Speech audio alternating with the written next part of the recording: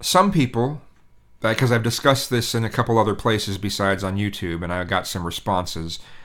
Some people have wondered what do I mean by programs that you can experiment and tinker to learn?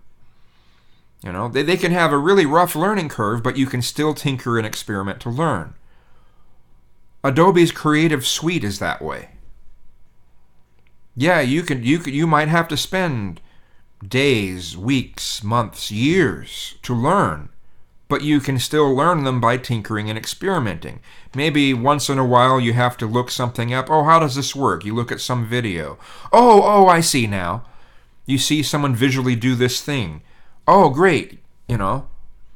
Then you can look at that and tinker with it and experiment with it, right?